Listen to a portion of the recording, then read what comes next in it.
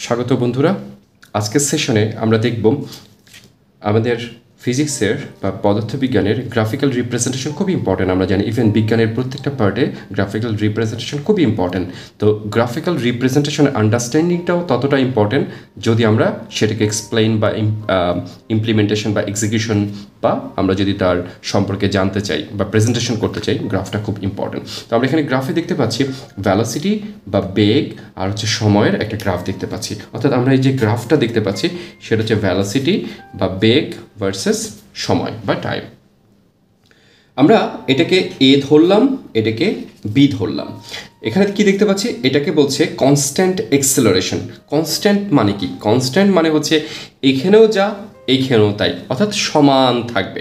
আমরা যদি একটু এক্সপেরিমেন্টালভাবে দেখতে চাই বা এটাকে যদি একটু পরীক্ষা করতে চাই, আমি ধরে নিলাম এটার মান হচ্ছে দশ, অর্থাৎ এই সময় দশ, আর এটা ঠিক অর্ধেক বরাবর ধরলাম হচ্ছে পাঁচ। ঠিক একইভাবে আমি এটাকে ধরলাম হচ্ছে, তার বেগ হচ্ছে টোয়েন্টি, আর ঠিক অর্ধেক হচ্ছে টেন। Just an example.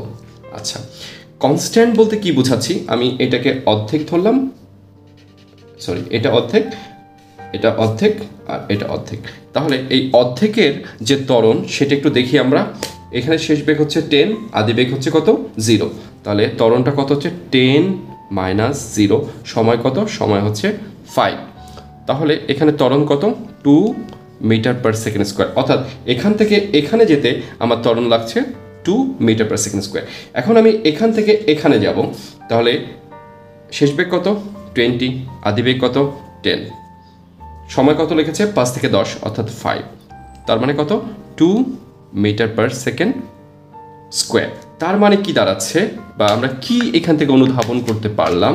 সেটা হচ্ছে, এই পর্যন্ত যে তার ত্বরণ ওয়ান দুঃখিত টু এখানেও তার ত্বরণ টু হচ্ছে। অর্থাৎ কনস্ট্যান্টভাবে তার যে এক্সেলারেশন বা ত্বরণ, সেটা বৃদ্ধি পাচ্ছে। যেহেতু আমরা দেখছি যে আগে জিরো ছিল, তারপরে টেন তারপরে টোয়েন্টি এইভাবে করে আস্তে আস্তে করে বেগ বাড়ছে, তার মানে আমরা এটা বলতে পারি এটা হচ্ছে কনস্ট্যান্ট এবং কনস্ট্যান্ট এক্সেলারেশন মানে কি? তার দূরত্ব কিন্তু আস্তে আস্তে করে বাড়বে। অর্থাৎ এখানে যদি আমি দূরত্বটা নির্ণয় করি আই মিন এই সূত্র অ্যাপ্লাই করে, আমরা বাই দ্য বন্ধুরা, এটা কোনো প্রবলেম সলভ করছি, এটা জাস্ট একটা রিভিউ টাইপের এস ইকুয়ালস টু যেহেতু এখানে ত্বরণ আছে U T plus half A T square তো আমি এটার ক্ষেত্রে যদি আমি একটু দেখি, এটার ক্ষেত্রে যদি আমি দেখি, তাহলে ইউর মান কত? আমি ধরে নিলাম জিরো প্লাস হাফ তরণের মান কত? টু টি এর মান কত? টোয়েন্টি ফাইভ তার মানে কি যাচ্ছে? এখানে টোয়েন্টি ফাইভ মিটার অতিক্রম করল এখান থেকে এই পর্যন্ত। এরপরে এটার জন্য যদি দেখি, এখানে কত হচ্ছে? এখানে হচ্ছে এখানে আদিবেগ কত?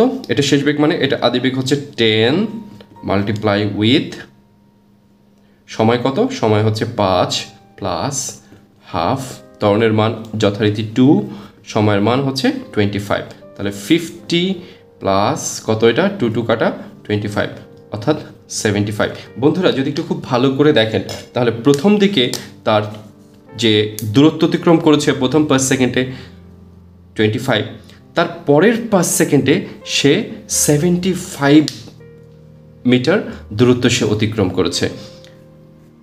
এখান থেকে আমরা কি বুঝলাম? আমরা এখানে বুঝলাম যে এক্সেলারেশন ত্বরণ যদি থাকে, তাহলে দূরত্ব আস্তে আস্তে করে অনেক বৃদ্ধি পাবে। অর্থাৎ এই রেসপেক্টে আমি যদি এটা দূরত্ব যদি গ্রাফটা আঁকতাম, তাহলে দূরত্বটা এরকম হতো। অর্থাৎ দূরত্ব versus I mean D versus যদি টি আঁকতাম, তাহলে এরকম একটা গ্রাফ হতো। আশা করি এটা ধরতে পেরেছেন। এরপরে যেটা বলছে এক্সেলারেশন ইনক্রিজ করছে। এক্সেলারেশন ইনক্রিজ মানে কি? এটা কিন্তু কনস্ট্যান্টভাবে হচ্ছে না মানে আস্তে আস্তে করে হচ্ছে। তো ধরে নিলাম, এটার মান হচ্ছে বিশ, এটার মান ধরলাম হচ্ছে তেইশ, কথার কথা টোয়েন্টি থ্রি তাহলে এটা বি এটাকে আমি সি ধরলাম। তাহলে বিসি পজিশনে বিসি পজিশনে আমার ত্বরণ কি হচ্ছে? আমি ধরলাম, এখান থেকে হচ্ছে পাঁচ, আর এটা হচ্ছে দুঃখিত, এটা দশ, আর এটা হচ্ছে ধরলাম বিশ। যাই হোক, তো সময় হচ্ছে ten twenty minus ten ten আর বেগ এখানে কত ধরেছি? টোয়েন্টি থ্রি আর আগে কত ছিল? টোয়েন্টি তাহলে কত হচ্ছে? থ্রি ডিভাইড বাই টেন অর্থাৎ point three meter per second square বেগে আমার তরণটা এখানে ইনক্রিজ হচ্ছে মানে অল্প একটু বৃদ্ধি পেয়েছে। আগে কত ছিল? আগে ছিল হচ্ছে টু আগে কত ছিল? টু টু টু করে কনস্ট্যান্টভাবে বাড়ছে।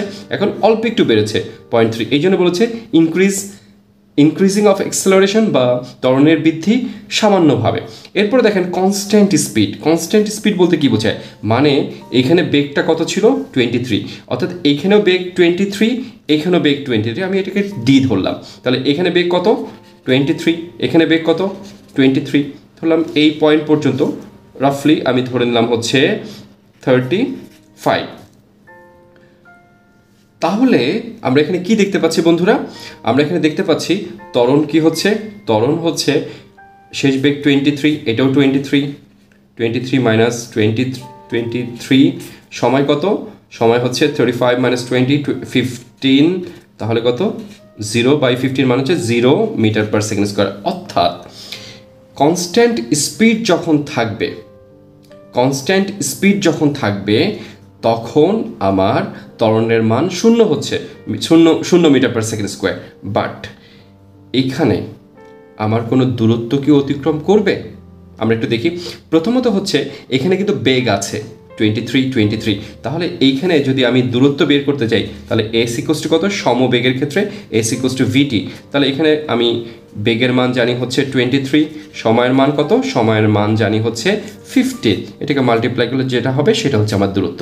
Anyways last part D two E D two ইর ক্ষেত্রে আমরা যেটা দেখতে পাচ্ছি, আগে ছিল কত এক্সেলারেশন এক্সেলারেশন ছিল হচ্ছে টোয়েন্টি থ্রি আর এখানে হচ্ছে যেহেতু আমার এক্স এক্সেসের সাথে এটা মিলিত হচ্ছে, তার মানে এখানে বেগ হচ্ছে জিরো মিটার পার সেকেন্ড আমি ধরে নিলাম, এটা হচ্ছে থার্টি ফাইভ আর এটা হচ্ছে ফর্টি ফাইভ অর্থাৎ এখানে টেন সেকেন্ডস তো আমি হাফ ধরলাম এখানে মানে এই টেন সেকেন্ডসের হাফ তো এই বরাবর আমি ধরে নিলাম, এই পরিমাণ যে বেগটা ছিল, সেটা হচ্ছে রাফলি কোনো একটা ভ্যালু ধরলাম eleven point something whatever তো এখানে যেহেতু আমরা এখানে টোয়েন্টি থ্রি নিয়েছি আমরা একটু মিলাতে কষ্ট হবে। বাট যেহেতু কনস্ট্যান্ট ডেসিলারেশনের কথা বলেছে, অর্থাৎ আমি এখানে যেটা বোঝাতে চাচ্ছি, এই পর্যন্ত যেই পরিমাণ ভ্যালু হবে ডেসিলারেশন ডেসিলারেশন মানে মাইনাস কোনটা ভ্যালু হবে এক্স ঠিক একইভাবে এখান থেকে এই পর্যন্ত আরেকটা ভ্যালু হবে, সেটা হবে minus x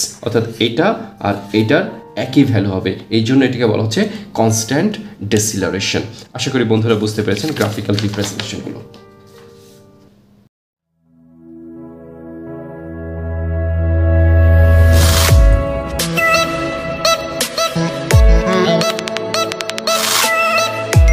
Subscribe our channel and press the bell for further notification and stay tuned with 3i.